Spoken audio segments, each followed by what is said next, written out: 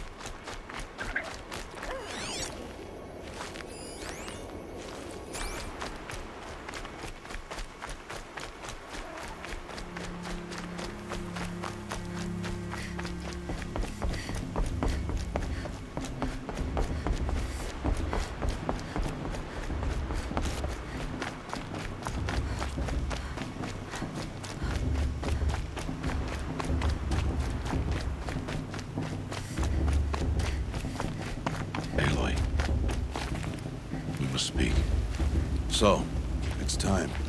Are you ready? Yes, I guess. It's louder than I expected. You've never been so close before. I guess everything's bigger up close. Soon it'll all seem familiar. Like home. I don't know about that. Look for High Matriarch Teersa. She'll help you. Any other concerns?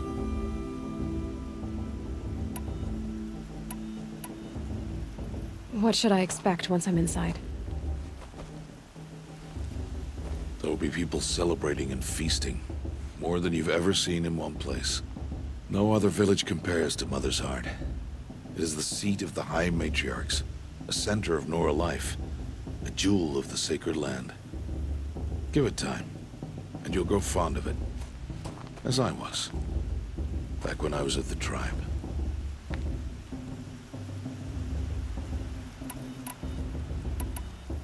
Are you sure they're gonna let me in? I've told you, Aloy. By law, any child outcast can run in the Proving. And any who pass are made braves and are outcasts no more. I know that. But not everyone follows the law like you do, Rost. Have faith, Aloy. The tribe will honor your right. Any final lessons before I head in? No. You've learned every lesson the Wilds have to teach. It was you who taught me, not the Wilds. Not sure my bow and spear will be much help in there, though. It is with bow and spear that you'll win what you've wanted all these years, Aloy. Answers. I'm ready to do this. See you back home in a few days? You will not find me there, Aloy. Here. Take this. Remember.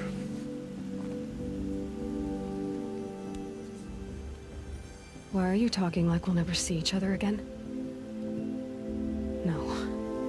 No! You should be with the tribe. And I will always be an outcast. But I told you, I have that figured out. I'll come to you in secret. I'll be the one breaking the law, not you. You don't even have to talk to me. This attachment to me will only hold you back. It's my wish that you embrace the tribe. You've lived in isolation long enough. Not Until now, I didn't. For your sake, I must go where you will never find me. This... This is goodbye.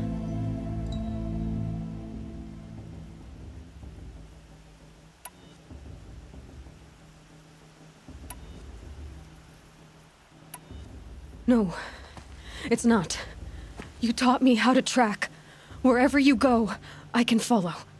Not this time. This time. And every time. I'll be wearing this when I find you. May All Mother bless you, Aloy. And you.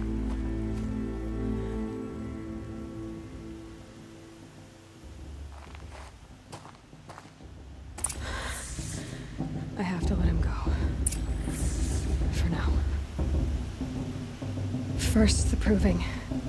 After that, I'll see where his trail leads.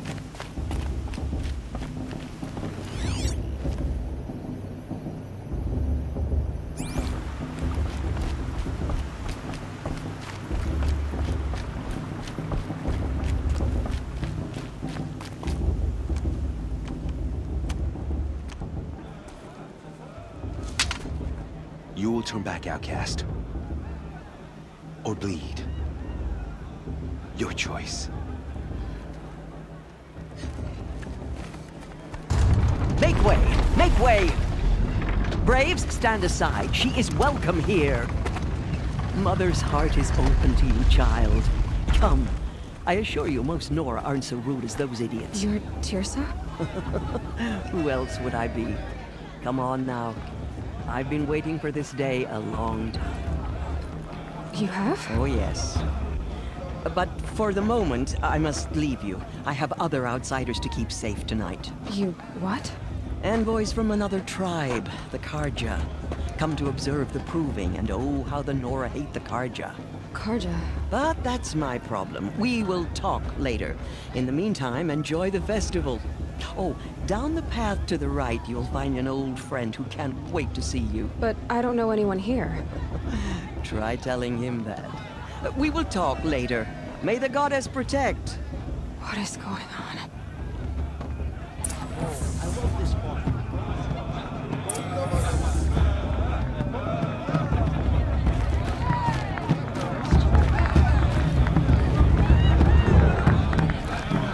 The festival before my sister's proving had much better music. I heard one of the matriarchs say you were cursed. You know, it might be time for me to find a soft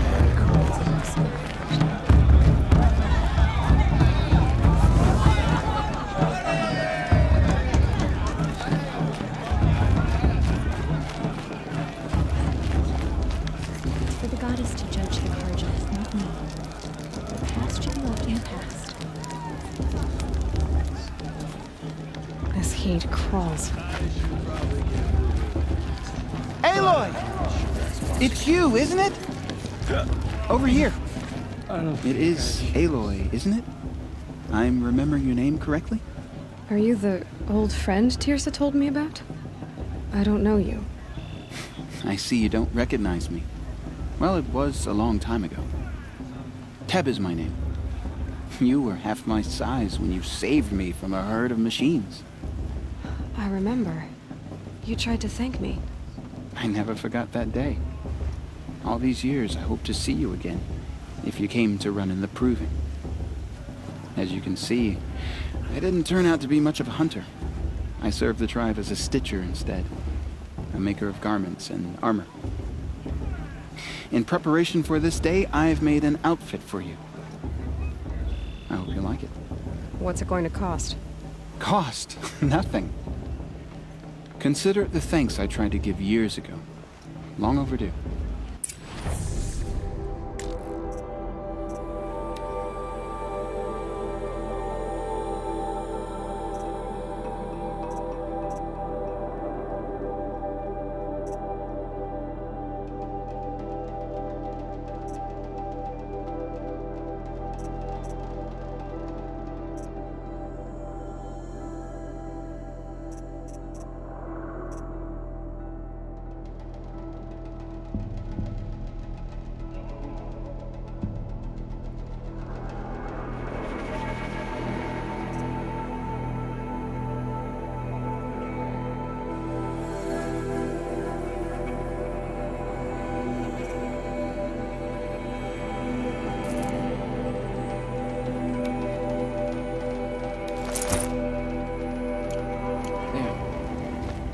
Seems to fit you perfectly. Thank you, Teb. I've never had anything like this before. Well, it's yours. I think you'll find it affords more protection than what you were wearing. Every outfit offers some advantage. It's always a trade-off. Anyway, I shouldn't keep you any longer. Head for the Matriarch's Lodge if you want to find Teersa. You'll know it when you see it. A large wooden building with an angry mob waiting outside. Teersa said something about envoys from another tribe. Yes, that's what the mob's angry about. Carja visiting our sacred land for the first time in years. I'd expect to see some tomatoes fly, maybe rocks. Hopefully not spears. In any case, be ready to duck. I could use another brew. Door two. Door three.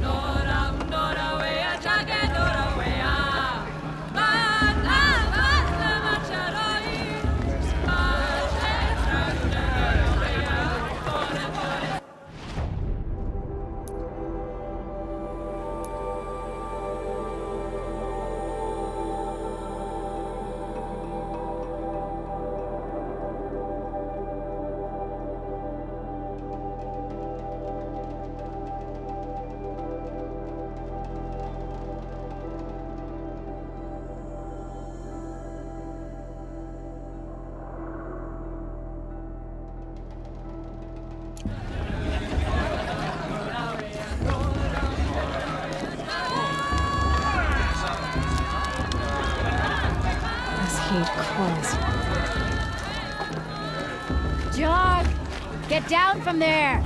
Bad enough you're drunk. Why do you have to go climbing houses? Oh, not supposed to go climbing on other people's roofs, huh?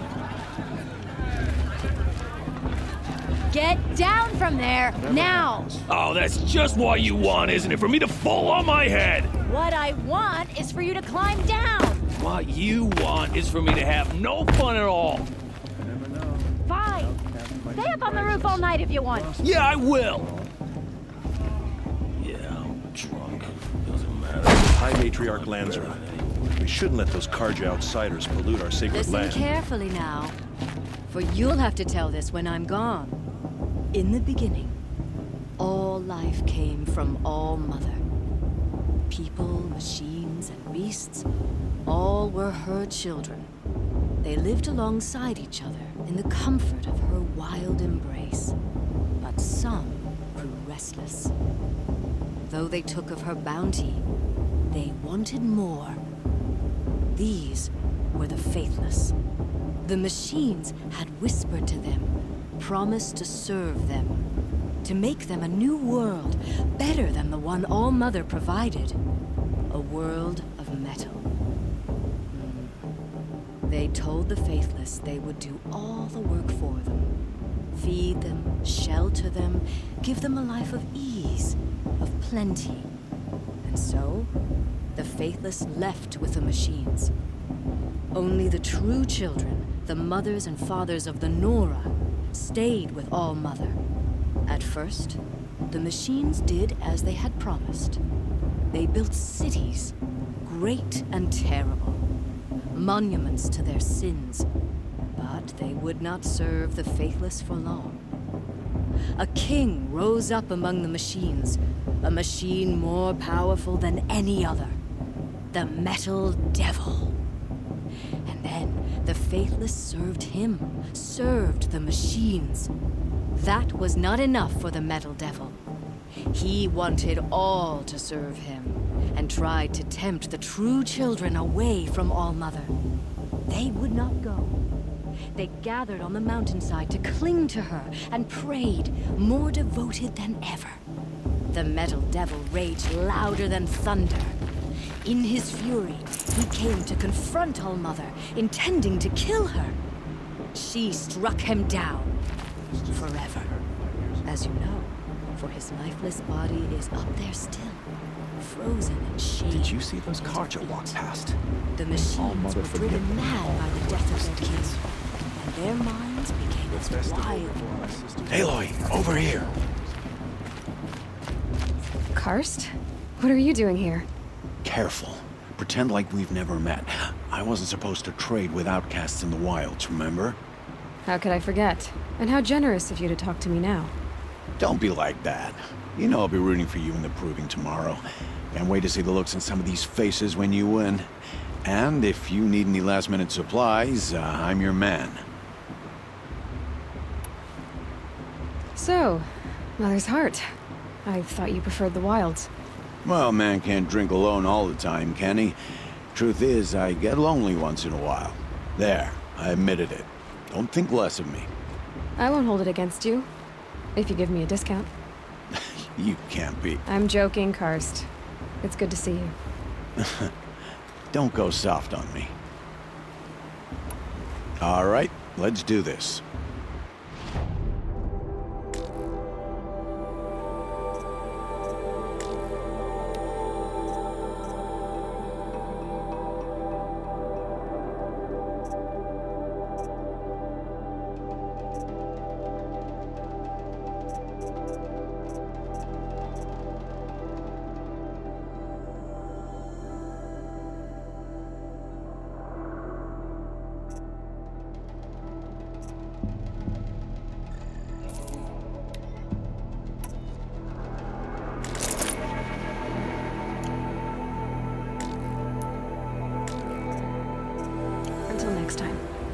Next time, you'll be a brave.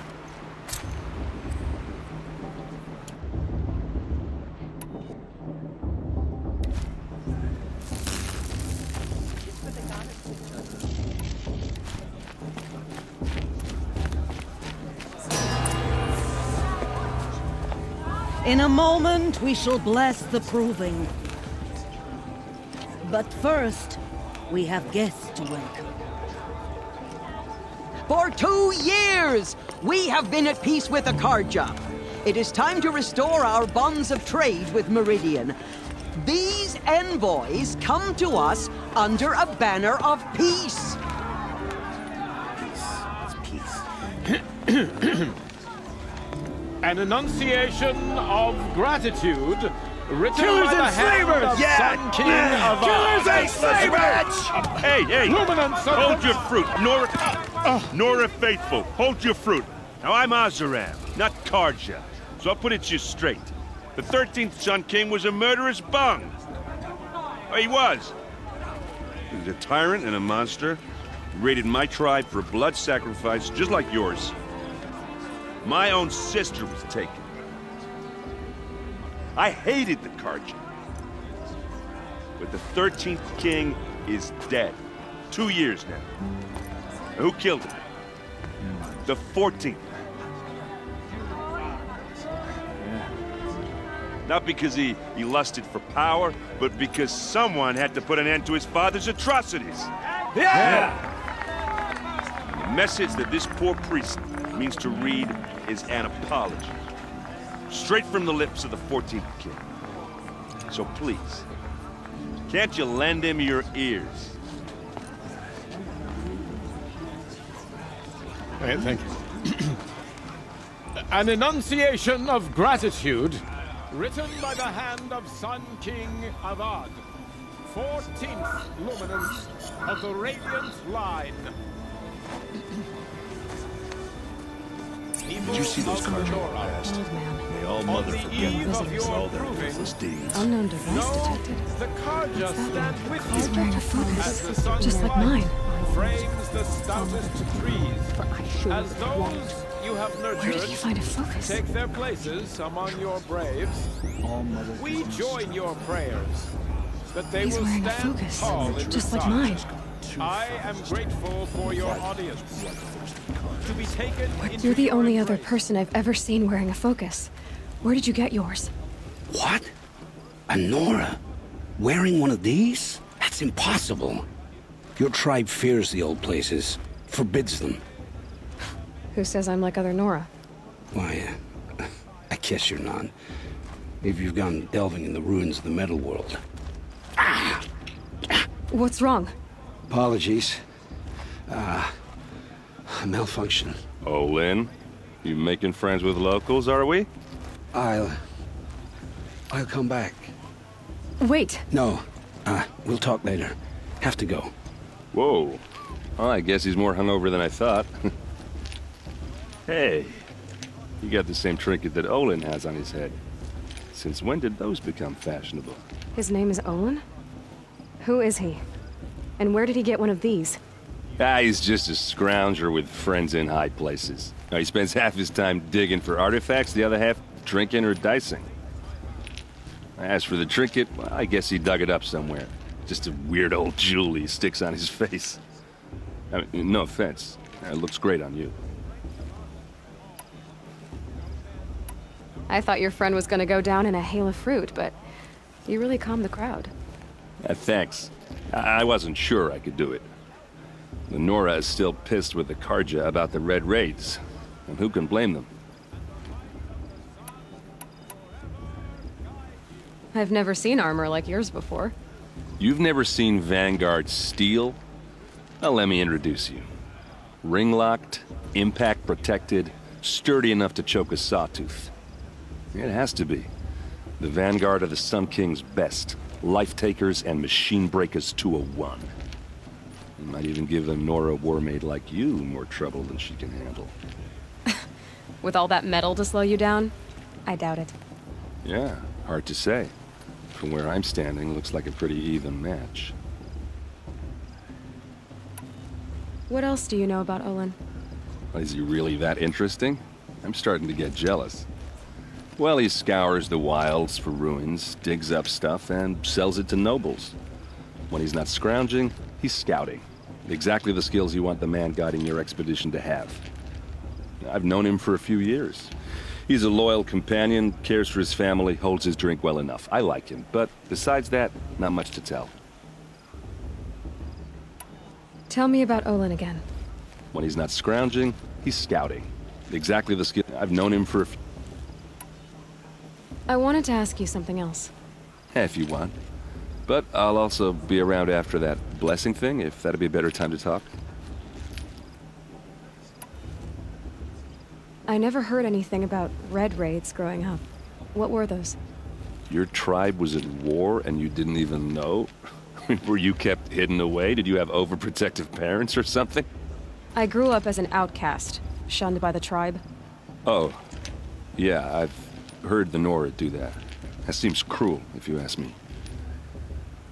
But even an outcast knows about the derangement of the machines, right? How they get deadlier every year? Well, the mad Sun King figured if he spilled enough blood to the Sun God, it would calm the machines. Didn't work. But for years, he raided the tribes and took captives for sacrifice. My sister among them. The Nora put up a good fight, but lives were lost. So, what happened? How did it all end? The Mad King's own son united Carja rebels with Oseram freebooters. And together we did the impossible, took back Meridian and killed the crazy old king. So now the son sits on the throne and it's a big improvement. Under Avad, there's no more sacrifices, no more slavery. People from all tribes are welcome in Meridian now, even Nora exiles. You really should come visit.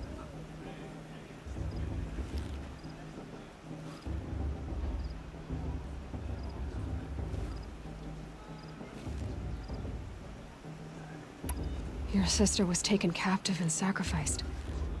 That's terrible. Captive, yes. Sacrificed, no. It takes more than a few Carja to finish Ursa. She got away, and now she's my captain. Captain of the entire Vanguard. Favored by the Sun King himself. How did she survive? Well, that's a story, all right, but it takes a while to tell. Maybe another time over a drink or three? Or just come to Meridian and meet her yourself. I think you'd like each other. You're both rather, uh, direct.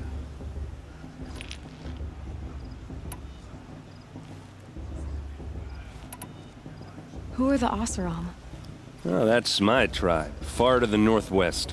We're good at three things. Arguing, working steel, and brewing. And freebooters. What are those? I guess you could say we were mercenaries, warriors for pay. Except a lot more loyal than that makes us sound. Avad couldn't have taken down his father without our metal and muscle. And now, some of us serve proudly as his personal vanguard. You said the machines have been getting more dangerous every year. Yeah, I don't have to tell you that, right? First I've heard of it. Oh, sorry, I just assumed everyone knew. Well, the way I hear it, 15, 20 years ago, the machines weren't always pissed off like they are now. When a hunter came at them, they'd spook and run. So it was hard to take them down, but not dangerous, so long as he was smart enough to jump out of the way. But then the derangement starts up and everything changes. Now, when a hunter fires a shot, the machines snarl and charge right at him. A few more years pass and they start attacking people on sight. Going anywhere becomes a major risk. If that wasn't bad enough, entirely new kinds of machines start showing up. Bigger, meaner, and heavily armed. Like the Sawtooth. Yeah, ten years ago, that one. But every couple of years or so, something worse comes along. Believe me. So what's making it happen? And no one knows. And the machines, well, they aren't telling.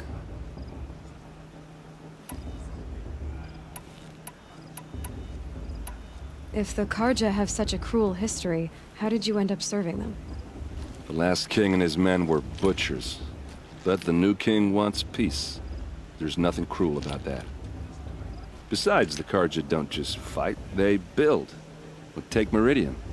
Next to it, everything else is just a bunch of sticks and stones.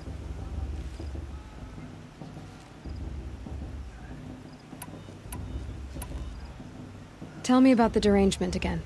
Well, the way I hear it, 15, 20 years ago, the machines weren't always pissed off like they are when a hunter, so it was hard to, but then a few more, if that wasn't bad. Like the sawtooth. Yeah, 10 So what's making... I don't know.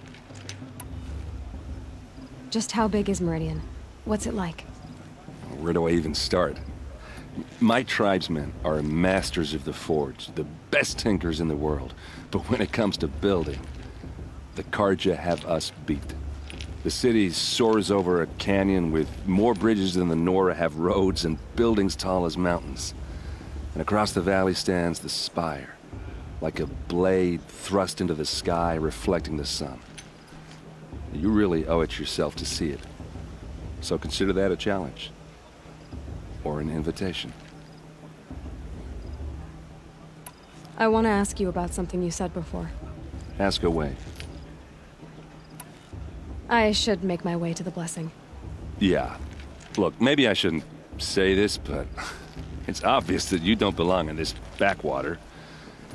I mean, you're smart. You're obviously capable, and, well, I mean, look at you. Uh, what are you talking about? You know what. All right, if you ever visit Meridian, look me up. I'll show you around, make introductions. It'll be a whole new life, if you want it. Anyway, I have to go to that blessing thing, too, so, uh, see you around, maybe? I won't let the Carja faithless stop me from enjoying the festival. What harm can they do now?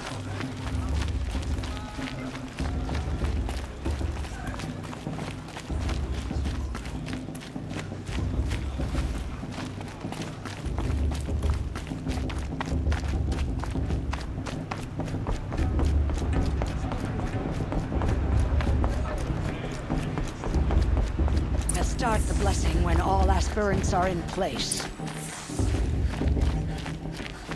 Aloy, take your place right there. The prayer lantern is yours. I made it for you. Blasphemy. Sisters. Aspirants, before each of you sits a prayer lantern crafted by your mother. In her honor, light its flame.